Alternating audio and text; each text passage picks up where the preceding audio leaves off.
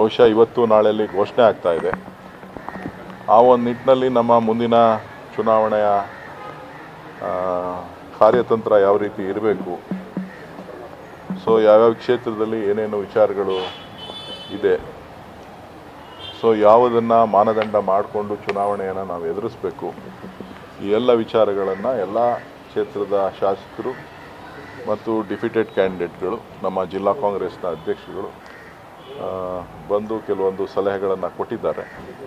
So ಆಗ ಒಂದು ಕಾರ್ಯತಂತ್ರವನ್ನು ಅಳವಡಿಸ್ಕೊಂಡು ಮುಂದಿನ ಚುನಾವಣೆಯನ್ನು ಎದುರಿಸುವಂಥ ಕೆಲಸ ಮಾಡ್ತೇವೆ. ನಾನು ಸಿಂಬಲ್ ಬಗ್ಗೆನೂ ಮಾತನಾಡಲಿಕ್ಕೆ ಹೋಗೋದಿಲ್ಲ ವ್ಯಕ್ತಿ ಬಗ್ಗೆನೂ ಮಾತನಾಡಲಿಕ್ಕೆ ಹೋಗೋದಿಲ್ಲ. ನಾನು ನನ್ನ ಕೆಲಸ ನಾನು ದುಡ್ದಿರ್ತಕ್ಕಂಥ ಕೆಲಸಕ್ಕೆ ನನ್ನ ಜನರನ್ನು ನಾನು ಕೂಲಿ ಕೇಳೋದು ಬಿಟ್ಟರೆ ಬೇರೆ ಏನು ನನ್ನ ಮುಂದೆ ಇಲ್ಲ. ಮಂಜುನಾಥ್ ಅವರು ಪ್ರಬಲ ಅಭ್ಯರ್ಥಿ ಅಂತ ಹೇಳ್ತಾ ಇದ್ದಾರೆ ಸರ್ ಕುಮಾರಸ್ವಾಮಿ.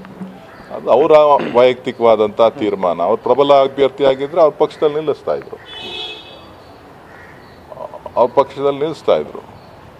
ಸೊ ಅದ್ರ ಬಗ್ಗೆ ನಾನು ಚರ್ಚೆ ಮಾಡೋಕ್ಕೆ ಹೋಗೋದಿಲ್ಲ. ಸರ್ ಅವರು ಒಂದು ಮಾತು ಹೇಳಿದರೆ ಈ ಬೆಂಗಳೂರು ನಗರದಲ್ಲಿ ಅದನ್ನು ಅವ್ರ ಕಾರ್ಯಕರ್ತರಿಗೆ ಹೇಳಿ ನಾನು ಕಾರ್ಯಕರ್ತರಿಗೆ ಕರೆ ಕೊಡ್ತಾ ಇದ್ದೀನಿ. ಯಾವ ಜಾತ್ಯತೀತ ತೆನೆ ಹೊತ್ತ ಮಹಿಳೆ ಇವತ್ತು ತೆನೆಯನ್ನು ಕೆಳಗಿಳಿಸಿದ್ದಾಳೆ? ಸೊ ದಯವಿಟ್ಟು ನಾನು ನಿಮ್ಮ ಸಹೋದರನಾಗಿ, ನಿಮ್ಮ ಸ್ನೇಹಿತನಾಗಿ, ನಾನು ನಿಮ್ಮ ಜೊತೆ ಜನತಾದಳದ ಕಾರ್ಯಕರ್ತರು ಮತ್ತು ಮುಖಂಡರ ಜೊತೆ ಸೇವೆ ಮಾಡಲಿಕ್ಕೆ ಸಿದ್ಧಾಗಿದ್ದೇನೆ ನನ್ನಲ್ಲಿ ಯಾವುದೇ ರಾಗ ದ್ವೇಷ ಇಲ್ಲ. ನನ್ನ ಗುರಿ ಅಭಿವೃದ್ಧಿ ಒಂದೇ. ಆ ಅಭಿವೃದ್ಧಿ ಈ ಜಿಲ್ಲೆಯ ಗೌರವ, ಈ ಕ್ಷೇತ್ರದ ಗೌರವವನ್ನು ಎತ್ತಿಡಿತೇನೆ ತಾವು ನನ್ನ ಜೊತೆ ಕೈ ಜೋಡಿಸಿ ಈ ಜಿಲ್ಲೆಯನ್ನು ಅಭಿವೃದ್ಧಿ ಮಾಡಲಿಕ್ಕೆ, ಈ ಕ್ಷೇತ್ರವನ್ನು ಅಭಿವೃದ್ಧಿ ಮಾಡಲಿಕ್ಕೆ ತಾವು ನನಗೆ ಸಹಕಾರ ಕೊಡಬೇಕು. ಮುಕ್ತ ಮನಸ್ಸಿನಿಂದ ನಾನು ಕಾಂಗ್ರೆಸ್ ಪಕ್ಷಕ್ಕೆ ಎಲ್ಲರನ್ನೂ ಕೂಡ ಯಾರು ಇವತ್ತು ಶಸ್ತ್ರತ್ಯಾಗ ಮಾಡಿದ್ದಾರೆ, ಅವರು ಹಾಗಾಗಿ ಆ ಶಸ್ತ್ರತ್ಯಾಗ ಏನು ಮಾಡಿ ಬೇರೆ ಪಕ್ಷವನ್ನು ಹಿಡಿದಿದ್ದಾರೆ. ನೀವು ನಿಮ್ಮ ಹೋರಾಟ ಬೇರೆ ದಾರಿನಲ್ಲಿತ್ತು. ನಿಮಗೊಂದು ಅವಕಾಶ ಇದೆ ದಯವಿಟ್ಟು ನನ್ನ ಕೈ ಬಳಪಡಿಸಿ ಬನ್ನಿ ನಾನು ನಿಮಗೆ ಆಹ್ವಾನವನ್ನು ಕೊಡ್ತಾ ಇದ್ದೀನಿ. ನೀವೇನೇ ಸಂಪರ್ಕ ಮಾಡಿದ್ದೀರ ರಾಜಕೀಯ ಅದು ನನ್ನ ವಿಚಾರಗಳನ್ನು ನಿಮ್ಮ ಮಾಧ್ಯಮಗಳ ಮುಂದೆ ನಾನು ಹೇಳಲಿಕ್ಕೆ ಬರೋದಿಲ್ಲ. ನನ್ನ ಅಪೀಲ್ ಇಷ್ಟೇ.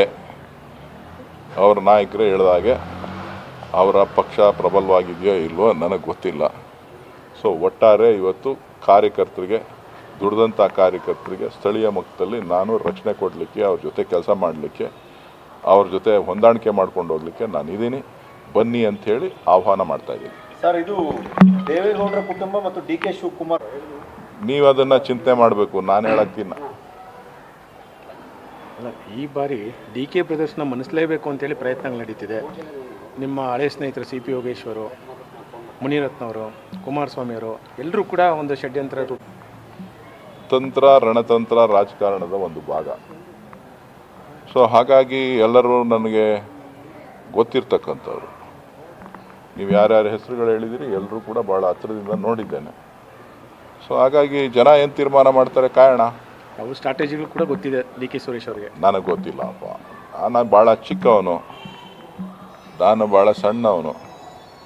ಅವರಷ್ಟು ದೊಡ್ಡವನಲ್ಲ. ಕಾದು ನೋಡೋಣ.